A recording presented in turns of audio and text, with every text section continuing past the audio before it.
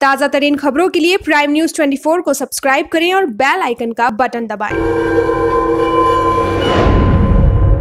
नमस्कार, आप देख रहे हैं प्राइम न्यूज़ 24 मैं हूँ वैशाली। उत्तर प्रदेश के जनपद अमरोहा के सैद नगली थाना क्षेत्र की नाबालिग छात्रा को प्रेम प्रसंग में फंसाकर हवस का शिकार बनाते हुए किया गर्भवती। मामला हसनपुर तहसील के थाना क्षेत्र के अंतर्गत आने वाले एक गाँव का है, जहाँ की रहने वाली कक्षा छह की छात्रा पड़ोस के ही घर में आया जाया करती थी। पड़ोस के युवक शिवम ने अपने प्रेम जाल में फंसाकर उसके साथ दुष्कर्म की वारदात को अंजाम देते हुए गर्भवती कर दिया। खुलासा उस वक्त हुआ जब नाबालिग छात्रा को रक्तस्त्राव शुरू हो गया। परिजनों द्वारा नाबालिग छात्रा से पूछताछ करने पर बताया गया कि समीप का ही रहने वाला शिवम पिछले छह महीने से निरंतर उसके साथ दुष्कर्म कर रहा था। छात्रा के पिता की तहरीर पर थाना सदर नगरी में शिवम और उसकी माता पुष्पा देवी के विरुद्ध दुष्कर्म किए जाने सहित संबंधित धाराओं में अभियोग पंजीकृत किया गया है।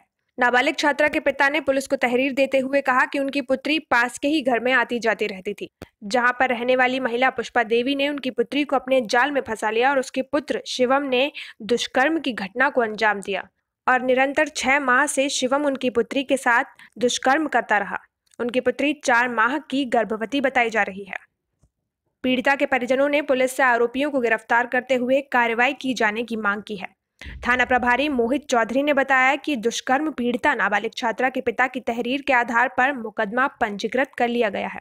शीघ्र ही आरोपी को हिरासत में लेते हुए जेल की सलाखों के पीछे भेज दिया जाएगा। नाबालिग छात्रा का मेडिकल परीक्षण और मजिस्ट्रेट के सम्मुख बयान भी शीघ्र करा दिए जाएँगे।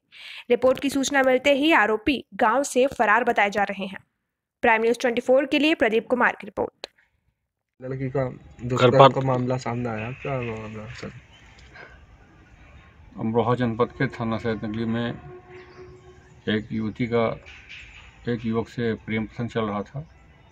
इसी बीच वो गर्भवती हो गई। इस संबंध में थाने पर अभियोग पंजीकृत कर लिया गया है। अभियुक्त की तलाश की जा रही है। अभी अभियुक्त फरार है।